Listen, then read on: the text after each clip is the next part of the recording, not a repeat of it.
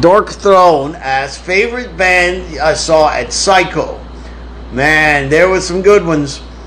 Number one would be Danzig performing Lucifuge. That was fucking fantastic. That was awesome. Uh, Profanatica was awesome. I saw Profanatica set. Uh, I Hate God were fantastic as well. Withered were great. Oh man. Who else? There were so many good bands. Cannibal Corpse fucking totally fucking destroyed that place. They were great. It's like it was funny how good Cannibal Corpse was that night. Um, man, there was so many freaking bands, dude. Um, Obituary was amazing, as usual. Uh, man, yeah, that's just some off the top of my head that I thought that I just I thought were fantastic. Thoughts on D Beat Raw Punk? I I'm a big fan of D Beat Raw Punk. Yes. Discharge, of course. Avskum, Swedish Jawbreaker, uh, Extreme Noise Terror. I love. Um, what else, man? There's so many great ones. Fuck, man. I can't think right now. I'm sorry. I'm just kind of burned out, y'all. I'm sure y'all understand. Uh, but yes, I'm a very big fan of D Beat Raw Punk. Uh, all the disc bands like Disclose, uh, man, uh, all all those bands, fucking great. Um, there was one, Dis Dishwasher. Have you heard that one yet? Pretty pretty good.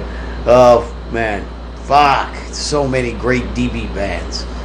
I, I can't think right now. Yes, I'm a very big fan of D Beat Raw Punk. Very big fan. And Illusion has a great question. Says, is the 10th still on since the 11th is rescheduled?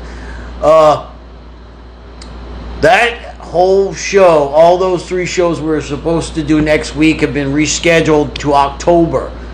We will be posting information about it very, very, very soon.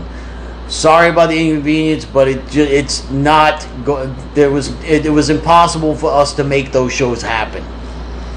Uh, being that you know Ben still doesn't have power in Metairie. I just got power. Uh, who knows if fucking poor boys would have power, and then the, the other whole situation of getting Zach and TA back to New Orleans to rehearse and do the shows, they would have nowhere to stay. Really, you know, uh, it was just it was just bad, bad timing.